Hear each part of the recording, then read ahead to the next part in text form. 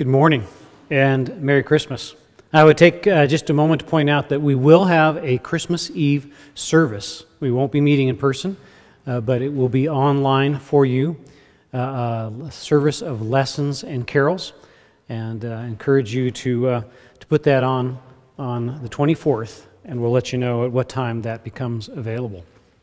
Read with me from the Song of Mary recorded for us in Luke chapter 1, beginning in verse 39. In those days, Mary arose and went with haste into the hill country to a town in Judah. And she entered the house of Zachariah and greeted Elizabeth. And when Elizabeth heard the greeting of Mary, the baby leaped in her womb. And Elizabeth was filled with the Holy Spirit, and she exclaimed with a loud cry, Blessed are you among women, and blessed is the fruit of your womb. And why is this granted to me that the mother of my Lord should come to me? For behold, when the sound of your greeting came to my ears, the baby in my womb leaped for joy. And blessed is she who believed that there would be a fulfillment of what was spoken to her from the Lord. And Mary said, My soul magnifies the Lord, and my spirit rejoices in God my Savior, for he has looked on the humble estate of his servant. For behold, from now on all generations will call me blessed. For he, has is, for he who is mighty has done great things for me, and holy is his name.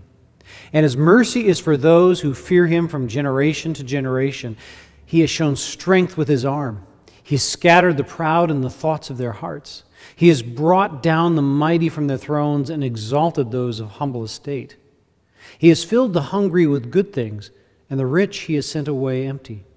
He has helped his servant Israel in remembrance of his mercy, as he spoke to our fathers, to Abraham, and to his offspring forever. And Mary remained with her about three months and returned to her home. Let's pray. Our mighty God and our loving Heavenly Father, we would come before you this day and ask that by the power of your Spirit we would be free to cry aloud as, as Elizabeth cried aloud How can it be that my God should come to me?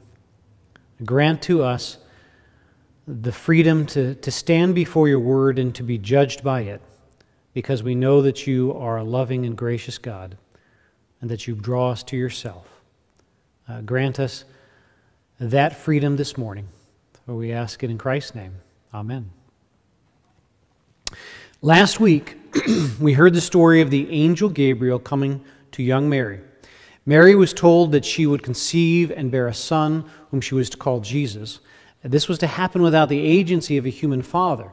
The Spirit of God would overshadow her that, so that her child would be called holy, the Son of God.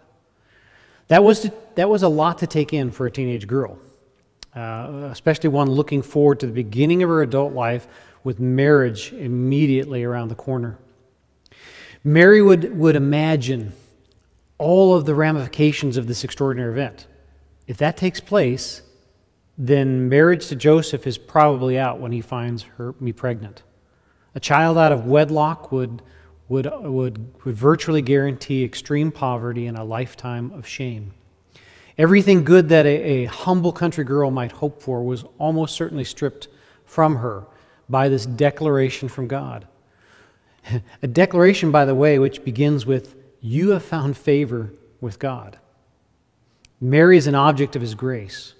Now, Mary did get to be married to Joseph.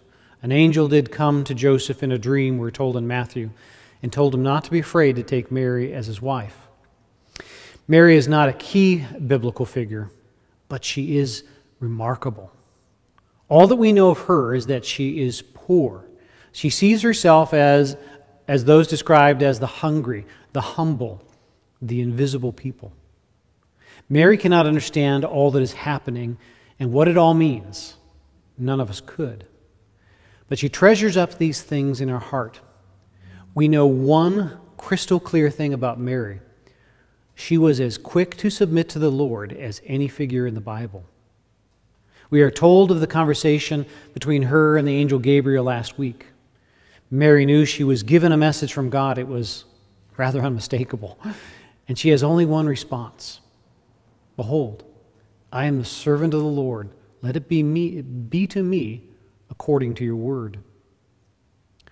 How many of the giants of history, in the history of God's revelation to man, Moses, judges, prophets, struggled with her calling and, and tried to turn it down often again and again.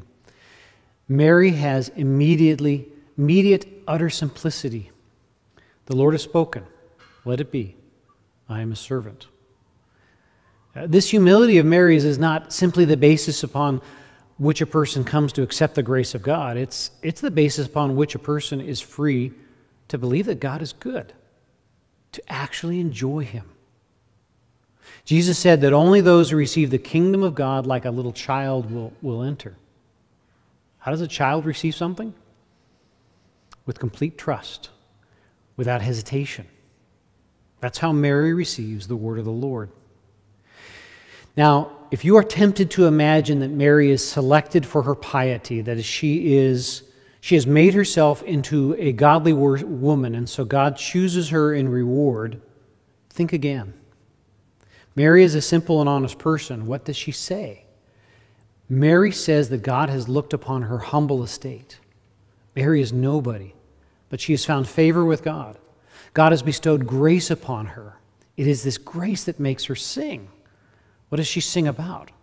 Does she sing about her arrival after years of striving to be recognized and to, to achieve a standing before God? No.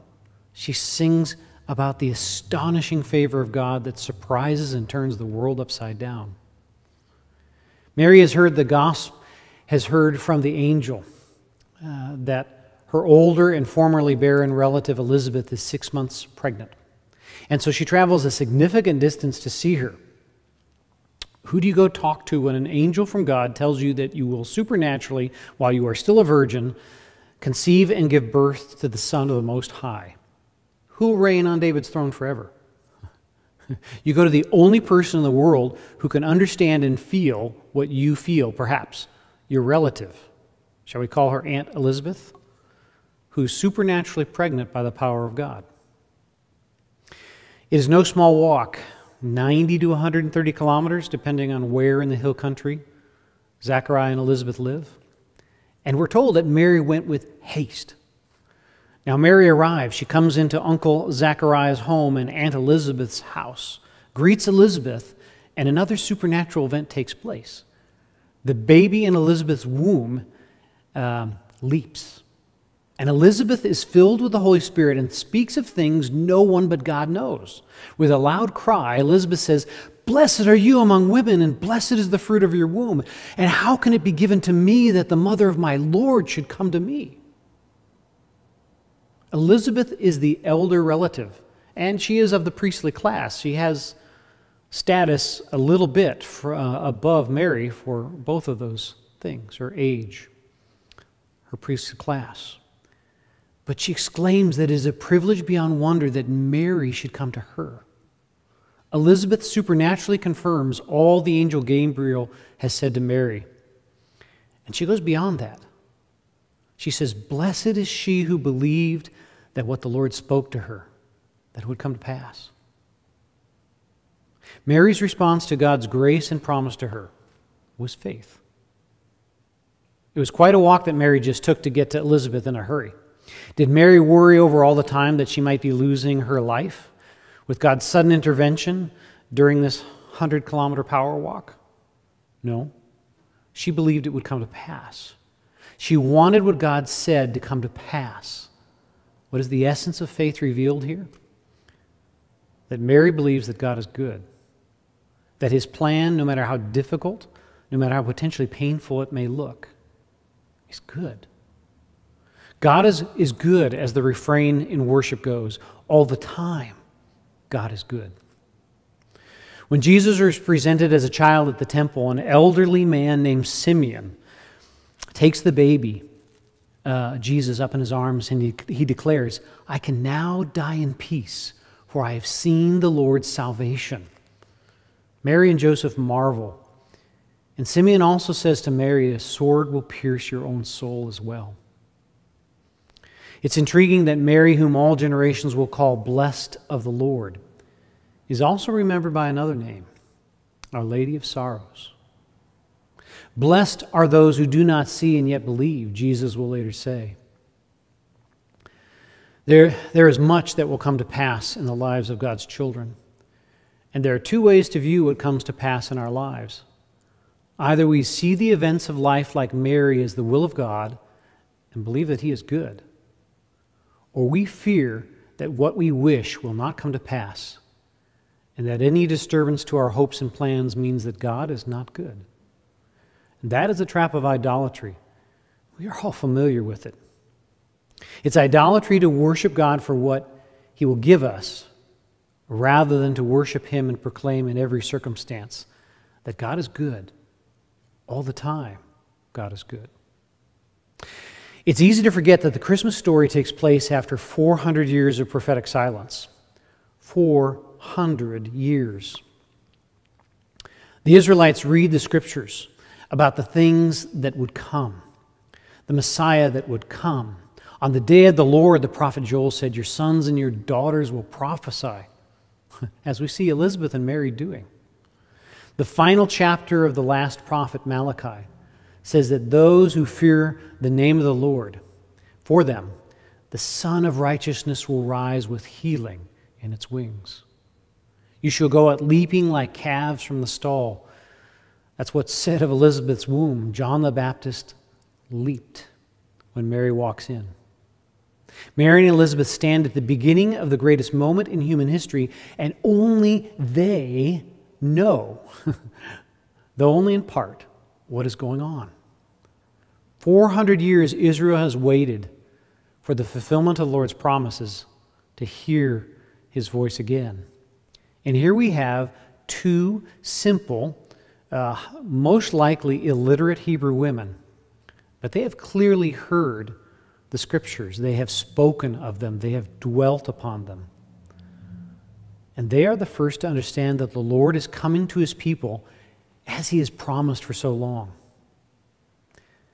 There has only ever been one thing that can bear the enormous weight of our trust and not fall. That's the Word of God. Now we come to the Song of Mary. Not that she necessarily sang it is, it is in poetic form, like, like the Psalms, with allusions to the, the sweep of Scripture. When a song comes into a narrative like this, it is always a window to meaning. It is the interpretation of the events that have taken place. And there are a sweep of songs throughout the scripture the song of Moses, the song of Miriam, the song of Deborah. And we can go on. Mary, the song, fits in that great sweep of the songs of God's people. She begins with magnifying the Lord. My soul magnifies the Lord. My spirit rejoices in God, my Savior. Now, I would dispense with one idea very quickly. How do we know that Mary is not a sinless being to be prayed to as a, a co redeemer with Jesus, as, as some have, have taught only fairly relatively recently in some corners of Christianity? We know that because the Bible never even hints at such a concept. We know that because of what we see in our text here that Mary knows herself to be a sinner in need of mercy. She exults in God's mercy and she calls him her Savior. Now, it's not embarrassing to notice that Mary begins praising God with regard to how he's treated her. She talks about herself to begin with. She moves on as if forgetting entirely about herself. That is the course of our personal experience. It's the course of our emotional lives.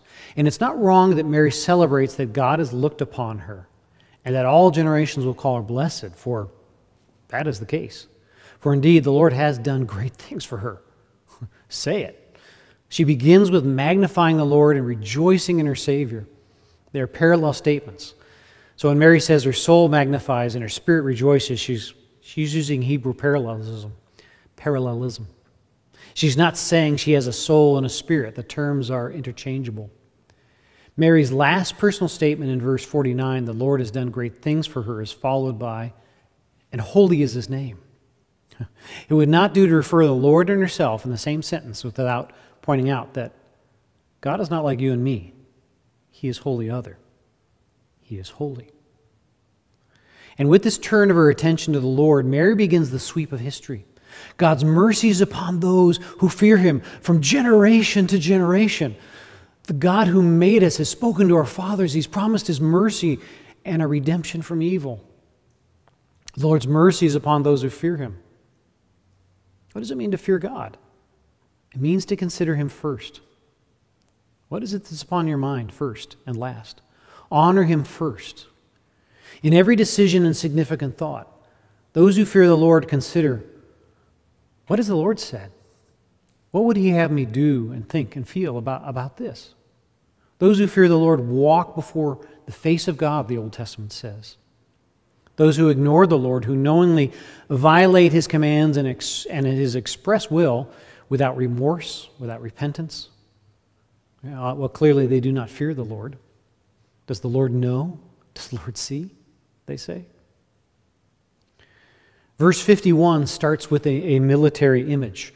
The Lord has shown strength with his arm. What has our divine warrior done? He has scattered the proud in the thoughts of their hearts. And that phrase is reminiscent of the Tower of Babel, where human society rebelled against God in their pride, and the Lord separated human language and scattered them. The mighty have been brought down from their thrones. In contrast, the Lord exalts the humble. He feels, he, he fills the hungry with good things, and he sends the rich away empty. The kingdom of God is, is a great reversal. The value of God's values of his kingdom are not the values of this world. What does our word, world value? Well, today it's pretty similar to as it was in ancient Rome. We value power, honor, wealth, control. What did Jesus teach were the values of the kingdom of God? He said, Blessed, blessed are, hilariously happy are those who mourn, the meek, those who hunger and thirst for righteousness. Blessed are the merciful, the poor, the pure in heart, the peacemakers, those who are persecuted for his namesake. That describes the life that Jesus lived for us to go to the cross and to suffer on our behalf. It's the life he enables his followers to live. It's not a life that Jesus enables us to endure. It's actually a life of joy, like we see in Mary and Elizabeth in our passage today. Look at verse 53. The Lord has filled the hungry with good things, and the rich he has sent away empty. Part of the reversal that the shattering entrance of the kingdom of God brings, yes, but it's not simply about food and the necessities of life.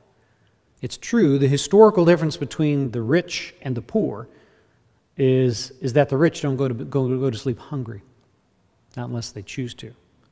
But the poor do experience hunger at times. But nowhere does it say in the Bible that it's better to be poor than rich. There's no inherent nobility in poverty. But there is a tremendous advantage spiritually in knowing at a deep level that you do not possess the answers to your own problems. The Psalms and the prophets use the language of hunger and feasting to demonstrate spiritual realities. Some of my favorite verses are from Isaiah 55. Come, everyone who thirsts, come to the waters, and he who has no money, come and buy and eat. Come buy wine and milk without money, without price. Why do you spend your money on that which is not bread and your labor on that which does not satisfy? Listen to me and eat what is good. Delight yourself in rich food. Incline your ear and come to me and hear that your soul may live. What did Jesus say in the wilderness when he was tempted? Quoting from Deuteronomy Man shall not live by bread alone, but by every word that proceeds from the mouth of God. How did John how did John uh, begin his gospel? In the beginning was the Word. The Word was with God, and the Word was God. And the Word became flesh and dwelt among us. What did Jesus say about himself in John 6? I am the bread of life. Whoever comes to me will never go hungry. Whoever believes in me will never be thirsty. When Mary sings that the Lord has filled the hungry with good things, she's talking about more than bread. She's talking about God's mercy. No matter how much food or how many good things you may have, you do not, if you do not have God's mercy, then you will forever be without the only thing that is good God Himself. To whom does God's mercy come? Well, to those who are so captive to God's grace, they look to Him. They honor and magnify Him by contrast to the proud who are scattered in the thoughts of their minds, of their hearts. Do you remember the first time you were conscious of truly free and great thoughts that were beyond yourself? I remember when the Lord touched my life in university and I was suddenly thinking about Him and not myself. And I was filled with a praise for Him that I'd never had before when I read His Word. The smaller I became and the larger God became, the greater was my joy and the stronger my, my desire to serve Him. Those were my, my first glimpses of real freedom. I wanted to obey God and place my life in Jesus' hands simply because of his astonishing grace to me. Before, I wanted to obey sometimes and in some ways, but only because I thought I could benefit by it. But in those moments in university, when I first reveled in the opportunity to obey God, I didn't matter what it would cost me because I knew beyond a shadow of a doubt that God is good. That is what Mary means when she says that God has filled the hungry with good things. The Lord gives to us his very self. So Mary moves from her situation in the first verses to the great sweep of God's actions throughout time, right into the work of God in the very hearts of people, exalting the humble, scattering the proud, to the final verses 54 and 55 where she sees this thing that has come to happen to her is actually the fulfillment of all God's promises to Israel. This pregnancy of Mary's, this child who will be called holy, the Son of the Most High, is the fulfillment of God's revelation to mankind, even back to Abraham himself, through whom the Lord promised to bless every nation on earth. Now, why do we understand that this Jesus that is to be born will be for every nation? Paul says in Galatians 3 that the Lord preached the gospel beforehand to Abraham, saying, In you shall all the nations be blessed. So Paul goes on. Those who are of faith are blessed, along with Abraham, the man of faith. And a few verses later, Paul concludes If you are Christ's, then you are Abraham's offspring, heirs according to promise. All the promises to God's people throughout the history of God's revelation are fulfilled in Christ and given to God's people by faith. Mary's song is, is one in a line of songs that point in the Bible to God's great work that He is accomplishing to redeem a people to Himself from every tribe upon the earth through this coming child. And who is this child? We are told He will be called Emmanuel, God with us. Elizabeth, filled with the Holy Spirit, proclaims that this child is her Lord. the job description of this mighty deliverer to show mercy to those who fear him, to scatter the proud, to bring down the mighty, to exalt the humble. It's the job description of Almighty God.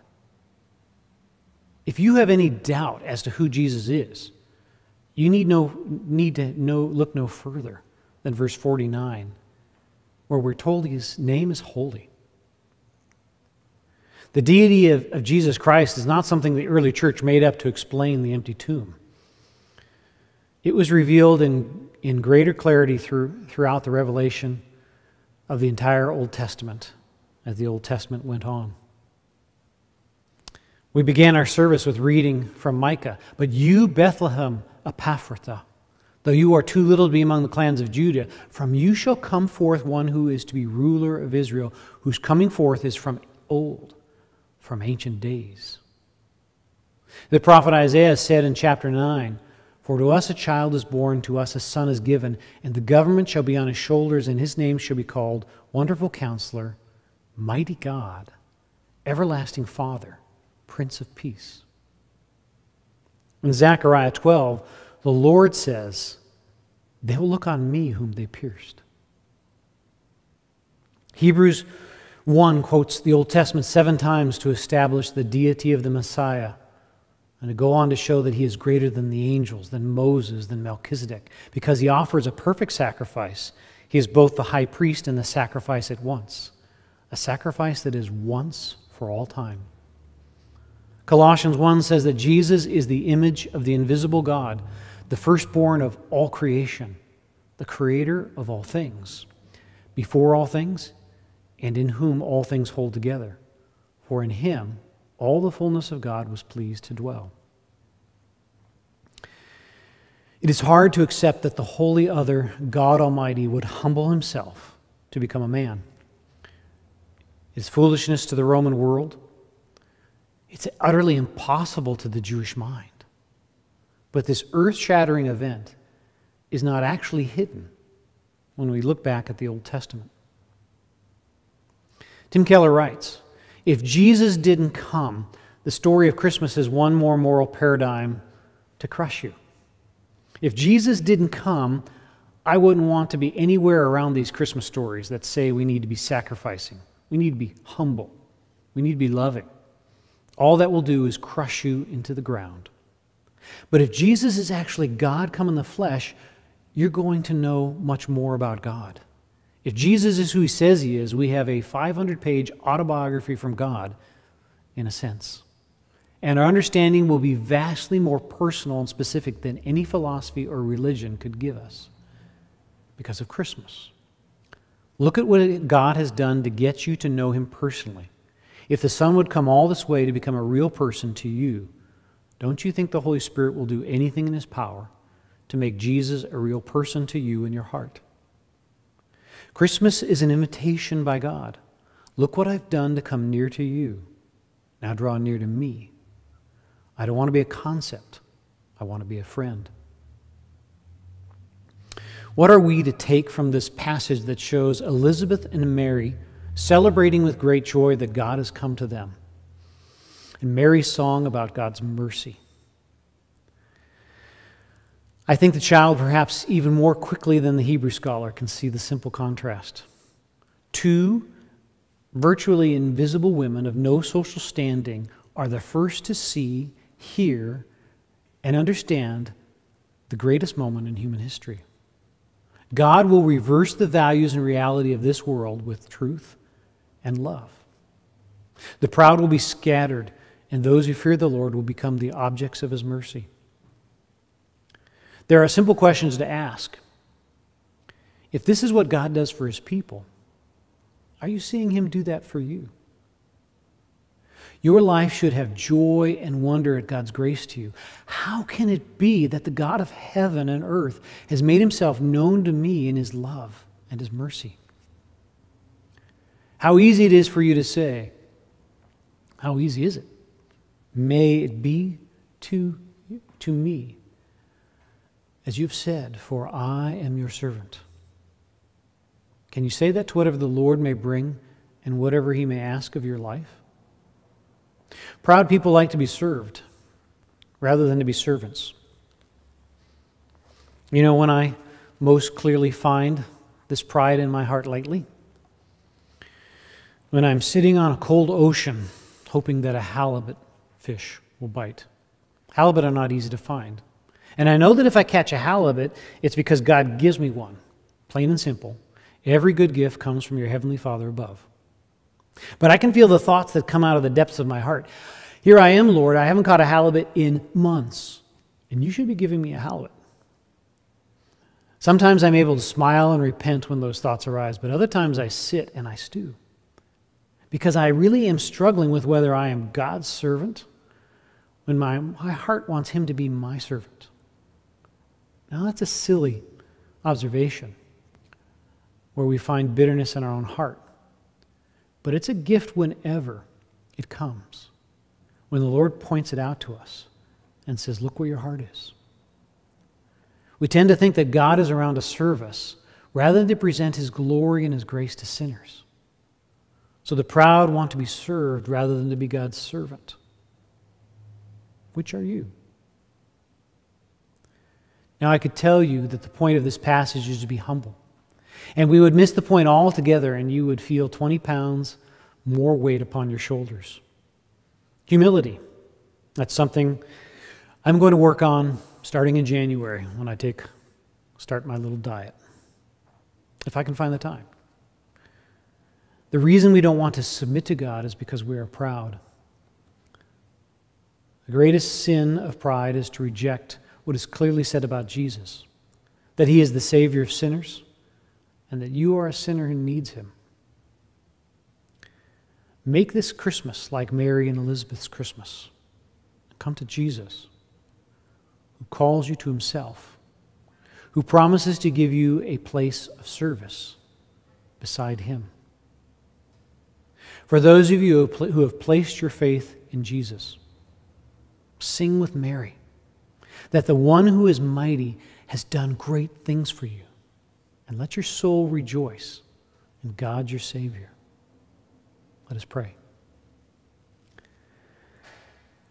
Our Heavenly Father, we come to you because you have revealed yourself to be a God of mercy and grace, that you are good. So we would repent of the pride of our life. We would repent that we often look to you to serve us. Father, we would be people who exult in your glory, your greatness, and your goodness, and worship you this Christmas. For you have given to us your Son, who has lived a life of perfect obedience that his sacrifice might pay the penalty for our sins, that we might be clothed in his righteousness, that we may be able to lift our face toward you, knowing that no shame comes between us. For you have loved us to the uttermost, and we are free to live with honesty before you. Grant us this joy, that we may worship your Son and magnify him. it's his name we ask it. Amen.